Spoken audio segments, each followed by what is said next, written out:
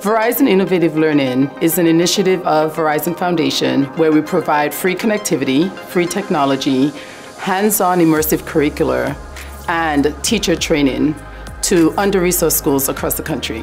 When I think about the classroom of the future, it should be a classroom without walls. You should be able to have direct personalized learning. I think about it as a very immersive opportunity for students. We're building a future that leverages an equitable innovation. New emerging technologies are fast coming and we want to make sure that everyone has the opportunity to experience and engage with the next generation of 5G technology.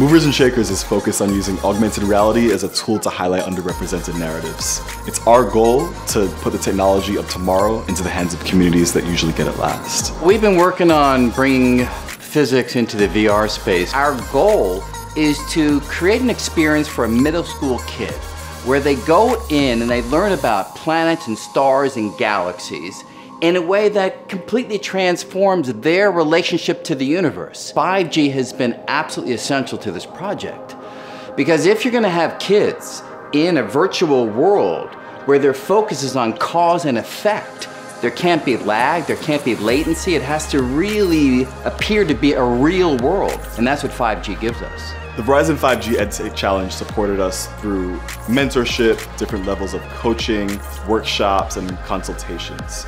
It was extremely helpful for us to hear from entrepreneurs who have struggled with a lot of the problems that we're currently dealing with.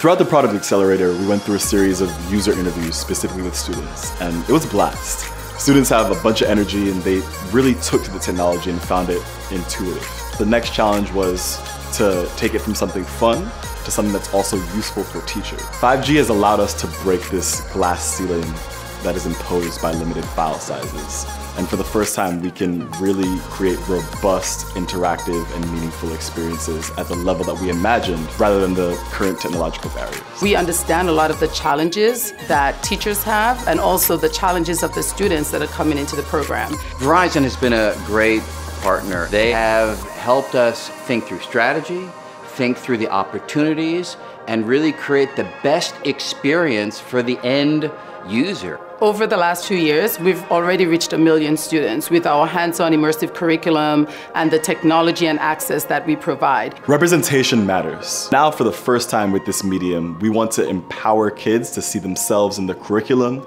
and in the technology.